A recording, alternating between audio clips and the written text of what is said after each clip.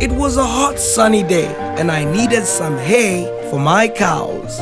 You know, because of the water problem, the grass doesn't grow fast enough to feed all of my cows. So I called my good friend Kapembwa to place an order. Ah, to my surprise, these people took very long to deliver the hay.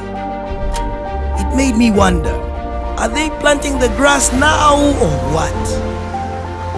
But apparently, there was a breakdown of some sort.